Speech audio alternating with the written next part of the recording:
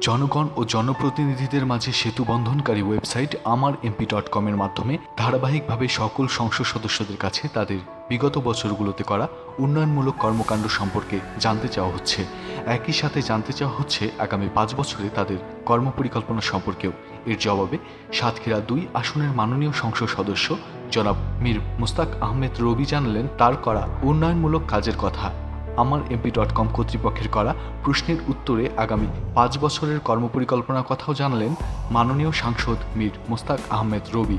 এমপির কাছ থেকে উত্তর আনার প্রক্রিয়াটি সমন্বয় করেছেন সাতক্ষীরা দুই আসনের আমার এমপির অ্যাম্বাসেডর মোহাম্মদ আব্দুর রহমান এবং আকাশ ইসলাম। আসলে একটা জনপ্রতিনিধির অনেক দায়িত্ব থাকে এবং দায়িত্ববোধ এবং চিন্তা চেতনার ফসল নিয়ে কিন্তু কর্মকাণ্ড।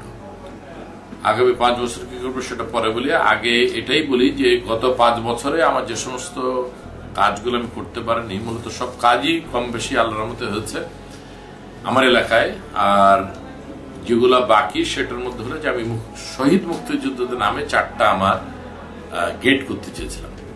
যে গেটটাই সাতক্ষীরা সদর উপজেলাকে নির্ণয় করবে। কিন্তু সেটা আমি পারিনি। আমি আশা করি যদি সেটা পারা যায় খুব ভালো হবে ইনশাল্লাহ। দ্বিতীয়ত হলো পৌরবাসীর একটা ডিমান্ড ছিল এবং আমারও খুব একটা ইচ্ছে ছিল, যেহেতু সরকারি যে দুটো কবরস্থান আছে, দুটো কবরস্থানে এখন আর কোনো জায়গা নেই। বিধায় আমি একটি কবরস্থান করার সাতক্ষীরা পৌরবাসীদের জন্য। এনিওয়ে এটা আমার মাথায় আছে, এটা কীভাবে করা যায়। আর তারপরে যে জিনিসটা আমরা স্বপ্ন দেখছি আমাদের মাননীয় প্রধানমন্ত্রী স্বপ্ন দেখান, স্বপ্ন বাস্তবায়ন করেন এবং কি করলে বাংলার সতেরো কোটি মানুষ এবং প্রত্যেকটি এলাকার মানুষ ভালো থাকবে, খুশি হবে, শান্তিতে বসবাস করবে। সেই কর্মকাণ্ডগুলো ওনার মাথায় রেখে কাজ করেন। সেই শিক্ষা নিয়ে আমরা, আমি ব্যক্তিগতভাবে সাতক্ষীরায় যে উদ্যোগগুলো নিয়েছি, সেটা হলো এই যে আগামী পাঁচ বছরে আমি মনে করি ইনশাল্লাহ যে আমার চোদ্দটি ইউনিয়নের কোনো রাস্তায় কাঁচা থাকবে না। যদি কেনা, ইউনিয়নের চেয়ারম্যানদেরকে ইতিমধ্যে আমি জানিয়েছি, আমার দলের প্রেসিডেন্ট সেক্রেটারিকে জানিয়েছি যে, ইউনিয়নের যারা আছে যে আপনারা আমাকে আইডি নাম্বার দেন। রাস্তার আইডি নাম্বার পেলে সমস্ত রাস্তা ভালো হবে। কারণ একটা দেশের উন্নয়নের মূল ইয়ে হলো যোগাযোগ। যোগাযোগ ব্যবস্থা যদি খারাপ থাকে, সে জায়গায় উন্নয়ন হয় না, ভালো কিছু হয় না। তাছাড়া এবার আমাদের নির্বাচনের স্লোগান ছিল, গ্রাম হবে শহর। মাননীয় প্রধানমন্ত্রী বলেছেন। সেটি কি? যে একটি শহরে মানুষ বসবাস করলে যে সুবিধাটি পায়, সে সুবিধাটি সমস্ত গ্রামের মানুষ পাবে বলে আমি আশা করি। এবং সে কারণে আমরা গ্রাম হবে শহর বলেছি এবং ইনশাল্লাহ আমরা যেমন মোটামুটি ভাবে আমি বলতে পারি যে আগামী অল্প কিছু বাকি আছে, বিদ্যুৎ আমাদের নাইনটি পার্সেন্ট হয়েছে সমস্ত গ্রামে আর দশ পার্সেন্ট বাকি আছে আগামী মার্চ, এপ্রিলের মধ্যে হয়ে যাবে। আমরা যেটা আমাদের কমিউনিটি ক্লিনিক যেটা আমাদের মানুষের দৌড়গোড়া যে স্বাস্থ্য সেবাটা আমরা নিয়ে যাওয়ার চেষ্টা করেছি মাননীয় প্রধানমন্ত্রীর ব্রেন চাইল্ড ওনার একটা চেতনার ফসল, ওনার স্বপ্ন যে বাংলাদেশের গ্রামগঞ্জের মানুষ যাতে ভালো স্বাস্থ্য সেবা পায়। আমরা সেই কমিউনিটি ক্লিনিকের মাধ্যমে আমরা পঁয়ত্রিশটি পদের ওষুধ আমরা দিই। প্লাস ওখানে আমরা লোকজন রেখেছি যাতে করে মায়েরা, বোনেরা এবং গ্রামের মেয়েরা ঘরের কাছে ট্রিটমেন্ট পায়। সে ব্যবস্থাটি চলছে, তবে পরিপূর্ণভাবে আমি ব্যক্তিগত খুশি না। আমার এলাকার জন্য সেটা আমি মহান জাতীয় সংসদে বলেছি ইতিমধ্যে এবং আশা করি আগামী দিনে কমিটি ক্লিনিকগুলো আরও সুন্দর হবে, মানুষ স্বাস্থ্যসেবা ভালো পাবে। আর ওষুধটা যাদের রেগুলার পায়, সে ব্যবস্থাটা আমি করব। এমনিভাবে আরও আমরা চাই যে গ্রামের হতদরিদ্র মানুষদের ছেলেমেয়েরা স্কুলে যায় কারণ লেখাপড়া এখন মরালেস ফ্রি তারপরে মাননীয় প্রধানমন্ত্রী সর্বস্তরের ভাতা দিচ্ছেন, নাগরিক সুবিধা দিচ্ছেন এবং সমস্ত হতদরিদ্র মানুষকে আমরা একটি নিরাপত্তা বেষ্টনের মধ্যে আনার চেষ্টা করেছি এবং আস্তে আস্তে মানুষজন আসছে। আমরা বয়স্ক ভাতা, বিধবা ভাতা বা অন্যান্য ভাতা, প্রতিবন্ধী ভাতা সব কিন্তু আমরা অনেক বাড়িয়ে দিয়েছি। এবং আশা করি যে এগুলা মানুষজন পাবে। এবং পাচ্ছে, তাতে করে কিন্তু গ্রামগঞ্জের মানুষ খুব খুশি। তো যাই হোক, যেটা আমি বলছিলাম যে কথা বলে তো লাভ নেই, কাজ করতে হবে। ইতিমধ্যে আমাদের অনেক কাজ হয়েছে আমার সংসদীয় আসনে। আমরা যেটা পৌরসভাকে আমরা কর্পোরেশন করার একটা স্বপ্ন দেখছি এবং এটা আমরা বাস্তবায়ন করতে চাই। এবং আমার বিশ্বাস, যেহেতু আমি এই কারণে মনে করি যে গাজীপুর হয়েছে, নারায়ণগঞ্জ হয়েছে অন্যান্য জেলা হচ্ছে, কুমিল্লা হয়েছে, সেই হিসেবে আমাদের সাতক্ষীরা অনেক পুরানো একটি মহকুমা ছিল, ব্রিটিশ আমল থেকে। এবং অনেক নন্দিত মানুষের জন্ম এই সাতক্ষীরায়, এবং সাতক্ষীরা একটা বর্ণাঢ্য ভূমিকা আছে সর্বক্ষেত্রে, খেলাধুলা, সংস্কৃতি, অঙ্গন এবং সব জায়গায়।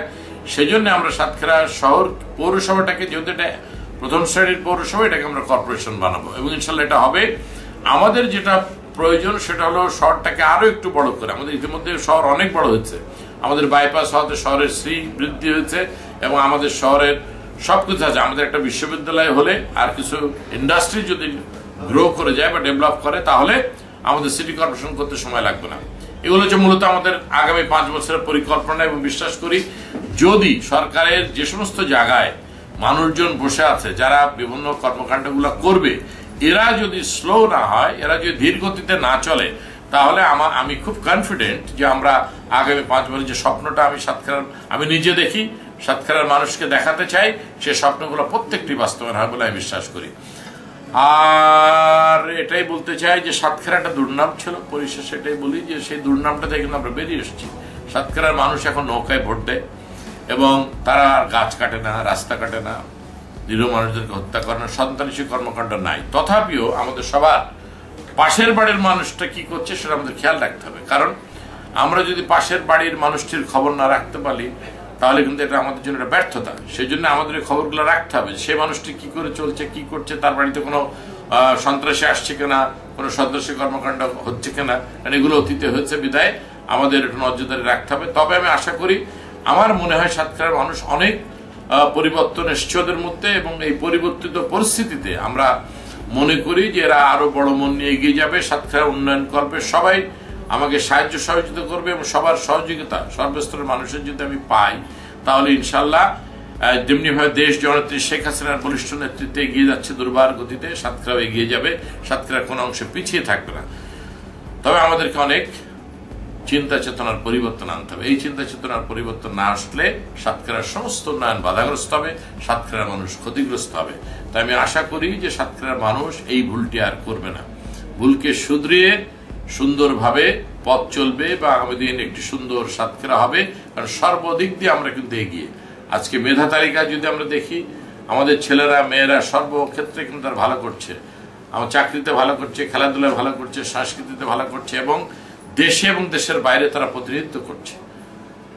এবং এই সাতক্ষীরা একটা বর্ণাঢ্য সাতক্ষীরায় রূপান্তরিত হবে, এটা আমার আকাঙ্ক্ষা এবং আমি সুস্থ থেকে সুন্দরভাবে ইনশাল্লাহ আগামী দিনে সেটা বাস্তবায়ন করব।